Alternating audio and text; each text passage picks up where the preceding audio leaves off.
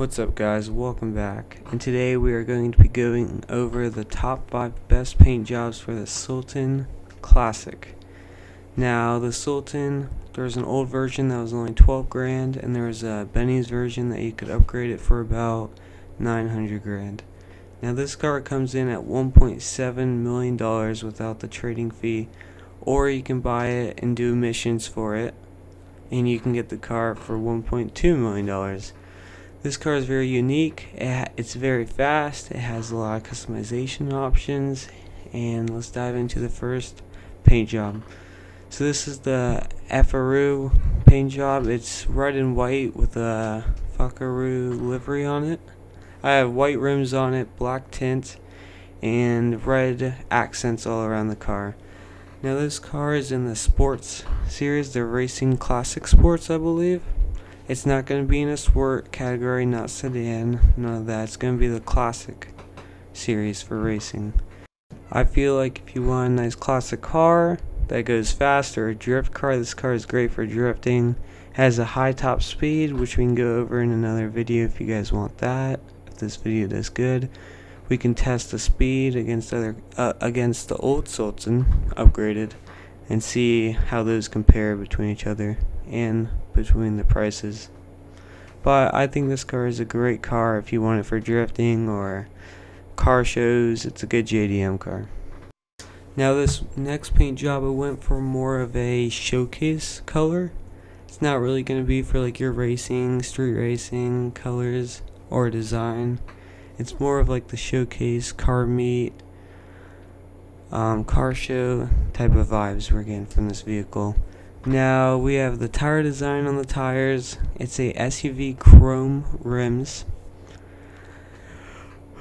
The paint job is a Grace red paint job all around the car with no tint at all. And the bumpers, it's the last option for the bumpers I believe. And yeah, I really like this paint job. I was just going for more of like a showcase paint job. And let's move on to the next one. Here we go. Now this color I love.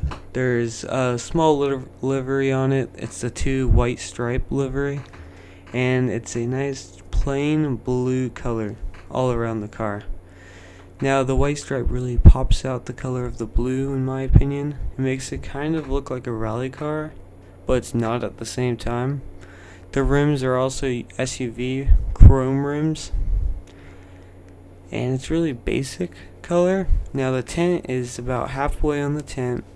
We have dual exhausts and this car is mainly for like daytime street racing if you want to just cruise around, do whatever you want with it.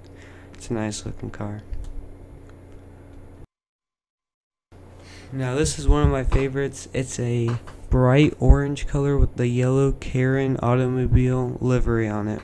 It's about a race design with black rims. It's the sport rims with design on the tires. And all around, I love this paint job. It's one of my favorites. The spoiler comes out, matches the car with black on the sides and yellow in the middle. It's black and yellow duo with paints. This car is mainly meant for if you want to race around, race against your friends, show up in a nice color. That's what it's really meant for. It's one of my favorites, and let's move on to the next one.